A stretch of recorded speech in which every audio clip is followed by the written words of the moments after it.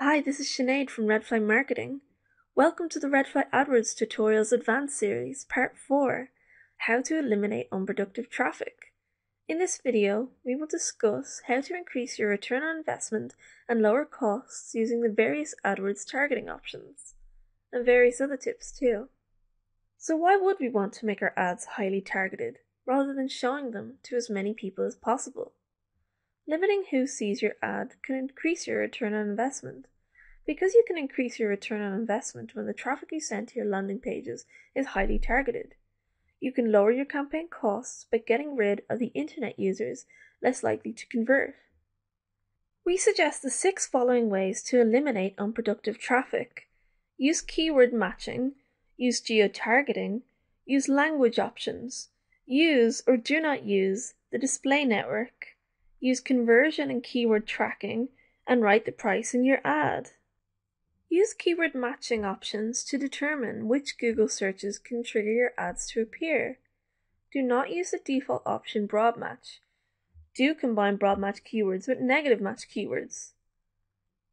Use negative keywords. A negative keyword is a word or phrase that you don't want your ad to be found with. By using negative keywords, you can avoid targeting the wrong users by stopping your ad from appearing on those searches. There is no limit to how many negatives you can define, and whenever you include another good negative keyword in your list, you lower your costs. Use geo-targeting, also known as location targeting, which lets you target your ads to specific locations.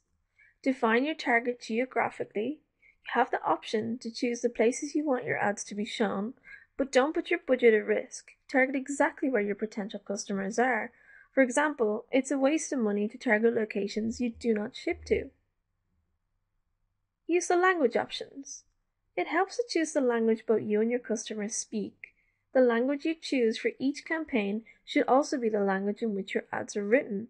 Google will not translate your ads for you, but will show your ads to users whose Google interface language matches the language that your campaign targets. Use or do not use the display network. By default, AdWords uses both a search network and a display network. On the display network, your ads have the potential to increase the relevance of the content where they are displayed, so you get targeted exposure. But people who click on ads on the display network are not really motivated with an urge to buy.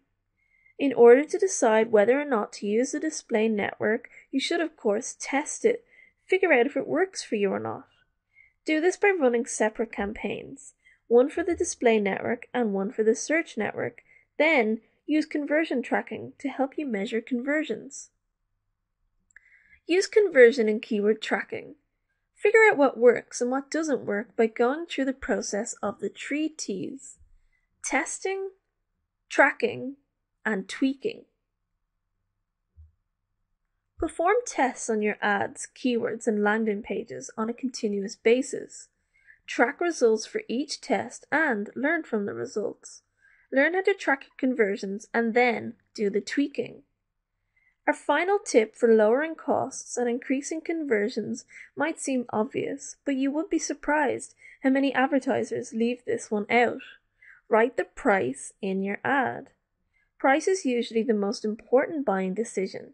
Create ads that quote the price. People that are willing to pay the price will click on the ad, and users that aren't willing to pay won't click on the ad. After watching this video, you should be ready to move on to part 5 of the Redfly AdWords Tutorials Advanced series, How to Get More Traffic from AdWords, where we cover how to increase your traffic volume but at no risk to your budget.